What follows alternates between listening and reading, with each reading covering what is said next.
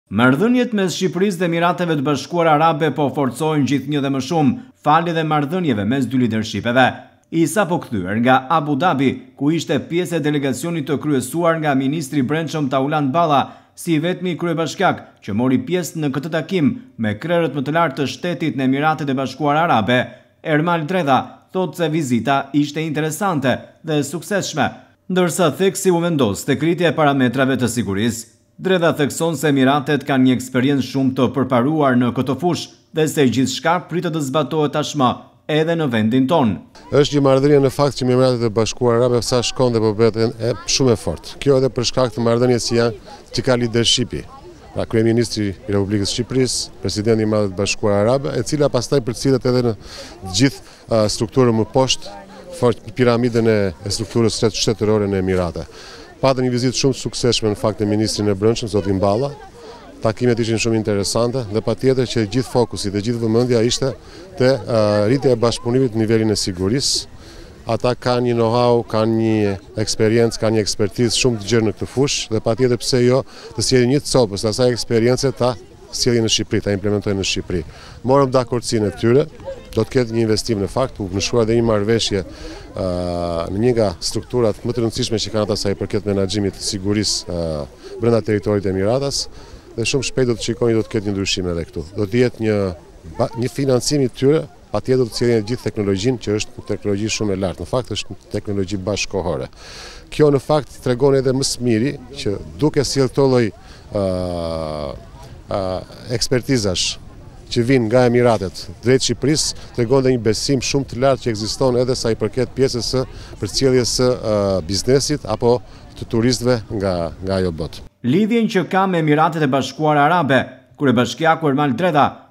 pritet që ta përçoj edhe në Vlorë, për t'i shërbyer qytetit dhe komunitetit.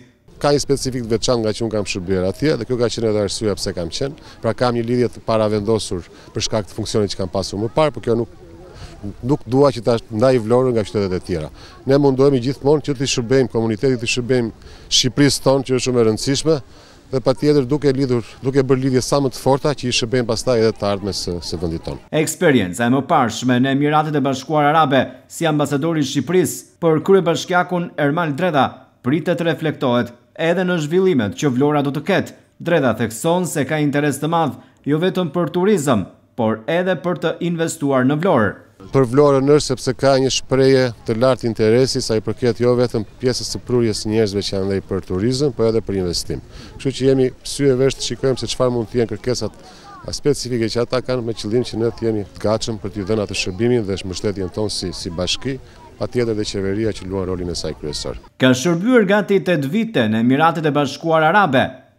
Por cilat janë emocionet për Dredhën teksa rikthehet në atë vend, ku përpara se të zgjidhej kryebashkiak i Vlorës, ishte ambasador?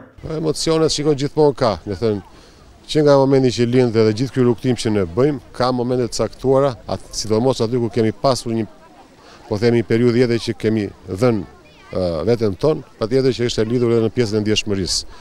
Patjetër aty janë 7 vjet shërbim në Emirate nuk janë pak dhe patjetër që ka edhe një farë lidhje emocionale me atë vend, patjetër që kemi pasur ato suksese tona si qeveri përgjatë kohës që kam qenë atje dhe patjetër të vjen shumë mirë që shikon se si kjo marrëdhënie vazhdon dhe rritet e rritet e rritet.